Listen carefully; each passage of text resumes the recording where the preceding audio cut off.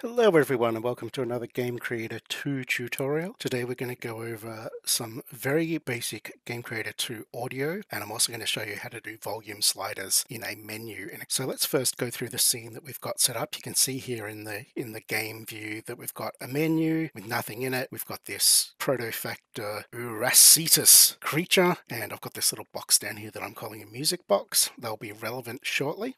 Now to use Game Creator 2 audio, we have to set it up with some audio mixers and Game Creator 2 wants four different audio mixers, one for sound effects, one for ambient, which also includes music, one for user interface stuff, and one for speech. And the way we set those up, we'll go into the Game Creator settings, into general here, and you can see that there is a selection set for them. So once we've created those audio mixes, and there's a great Unity Learn tutorial on the basics of doing this, so I'm not going to go through it, we can just open them up and choose the mixer that we want. Now I've also set up another one called Some Audio Asset, and in there I've got a music field of my own, and I'm going to use that to demonstrate if we're going to use non-game creator audio, say from an asset. For example, I just did a project using um, NWH vehicle physics, which comes with all its own great audio for doing skids and engine noises and all that sort of stuff. I couldn't control that with Game Creator 2 easily because it's not coming through Game Creator 2's audio controls. So you've got to make a different kind of volume for that.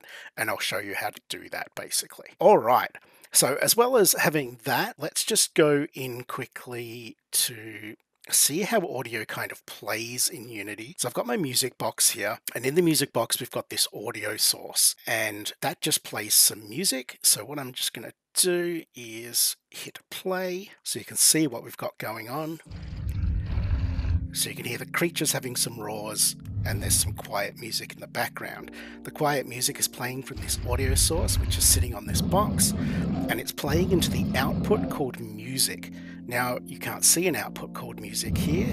That's because it's in some other asset. Here's the music channel, and if I were to change the volume on this, we can make our music go up and down. If we come back into the main audio mixer, the Game Creator audio mixer, you'll also see that music's playing through the ambient channel in Game Creator. So if I go back into edit mode and change that, it is playing through that game creator channel. So essentially what we're going to do is we're going to play some things through Game Creator. We're going to have that music playing that's not coming through Game Creator. It's coming through a normal Unity audio source. But that normal Unity audio source is playing through the ambient channel that we set up in here. So this ambient mixer is playing through Game Creator's ambient mixer. Um, and this is an awesome way to set up uh, audio in Unity in general, as well as having this music box playing. Obviously, the Uracetus, I've got some stuff on here, and this is Game Creator Audio.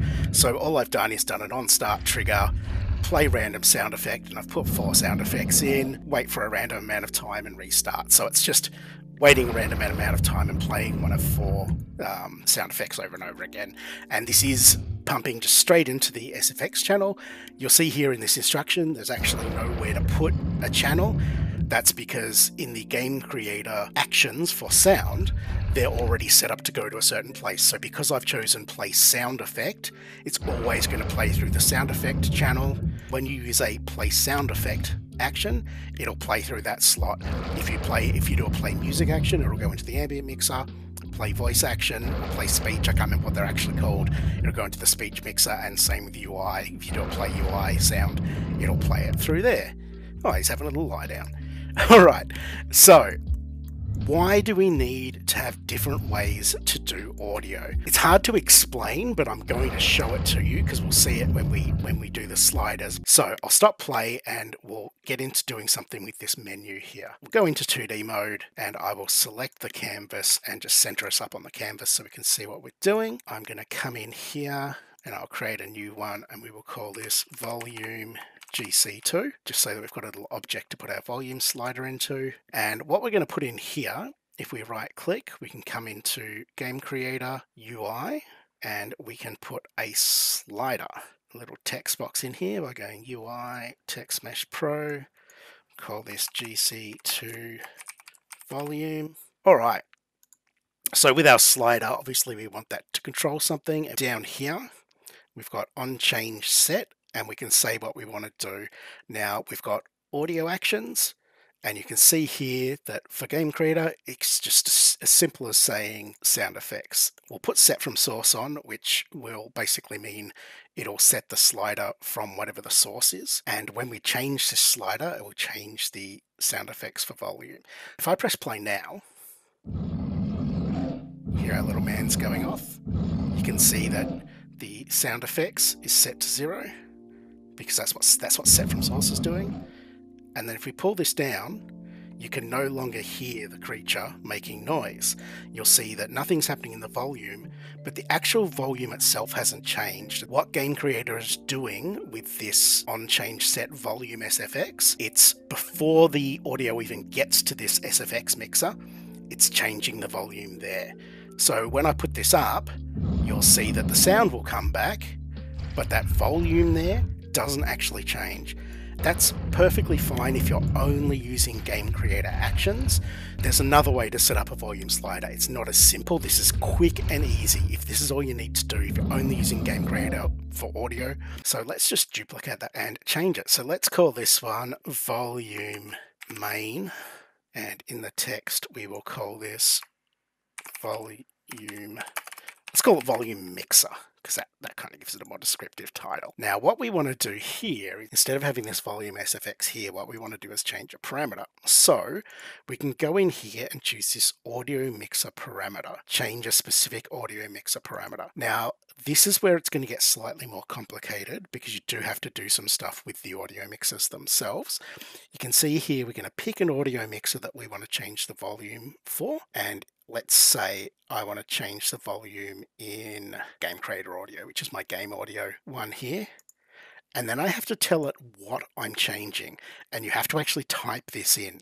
So we need to know what the parameter is called. Now, I've already exposed some parameters here ambient is one of them. If you want to expose a parameter from the audio mixer, and again, there's a tutorial on Unity Learn that will show you all of this, because obviously we need to know for this tutorial. All we need to do is click on the mixer, come up here in our inspector, right click on the property that we want, and you can see here that we've got a bunch of things that we can expose. Now I've already exposed the linear snapshot transform, which basically is sliding the thing along a linear scale, um, which is what we want for volume. I'll just quickly go unexpose and you'll see down here now we've only got two properties exposed and ambient has disappeared. So I'll come up here, expose my linear snapshot transition. We've come back to three things and it will call it something stupid. So we just right click here and call it whatever we want. I will change it. I'm actually going to change it to music because that's effectively what the ambient channel is in what we're doing here we can just come back into our slider here and we called it music. So now that we've called that music, it will know we want to adjust this parameter here. There's a couple of other things we can do if you want to change what it defaults to, for example. Set a default volume here. So say, for example, you want your music to start louder or quieter, you can you can adjust that here and you'll see down here, the slider is going up and down as I do that. In slider parameters here, we've just got a minimum and maximum value. So let's say we'll set it to minus 20 because that makes sure that it can be a, volume of, of zero or off essentially.